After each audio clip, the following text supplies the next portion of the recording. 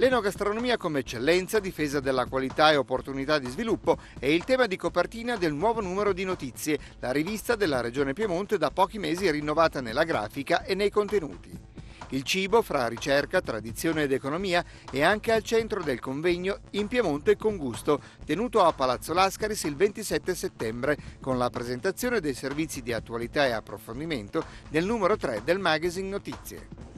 L'enogastronomia già oggi è un volano dell'economia piemontese, lo può essere ancora di più in futuro, ovviamente bisogna operare scelte strategiche, bisogna puntare sulla biodiversità, bisogna favorire l'accesso ai giovani verso l'agricoltura,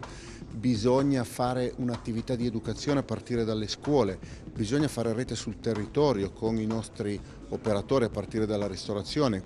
quanto l'abbiamo fatto fino ad oggi e ancora più. Bisogna continuare la promozione all'estero dei nostri prodotti, siamo sulla buona strada.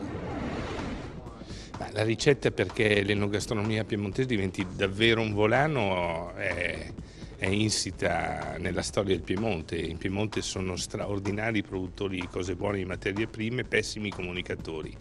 e allora questo gap si risolve facendo sistema, facendo squadra nei territori, nei paesi, per una regione che eh, attende un grande appuntamento che è quello dell'Expo del 2015 eh, dove appunto bisognerà mettere in mostra queste eccellenze in un'ottica di sistema.